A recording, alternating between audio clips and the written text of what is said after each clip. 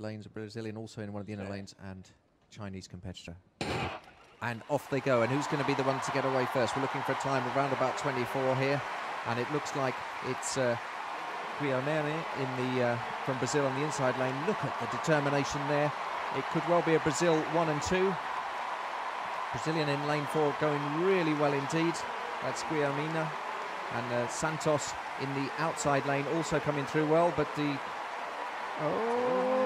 Coach Betão, você reconhece essa atleta, Terezinha Guilhermina, bicampeã da prova de 200 metros nas Paralimpíadas de Londres e Pequim. Ela fez o processo de coach esportivo comigo, que me deixou muito honrado, ainda mais nesse momento de preparação final para os Jogos do Rio de Janeiro. E ela me enviou um vídeo com um recado, um recado para você que é atleta. Dá uma conferida. Oi galera, eu vim falar com você sobre o coach esportivo.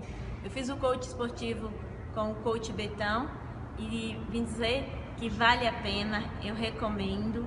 Eu aprendi bastante sobre mim, como controlar as minhas emoções diante de situação de competição em especial. Eu recomendo. Seja você também um atleta que faz coach esportivo. E é isso aí, galera. O processo de coach esportivo não é só para um atleta de altíssimo nível como a Terezinha.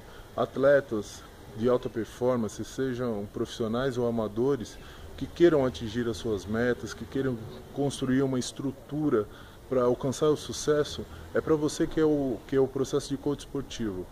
Você quer saber como funciona o processo? Acesse o meu site aqui no link. Lá eu disponibilizo uma sessão gratuita. Você vai passar por essa sessão, vai conhecer. Então não perca tempo, ok? Se você gostou do recado da Terezinha, curta e compartilhe o vídeo. Cadastre-se no meu site e faça a sessão. Eu encontro você no próximo vídeo.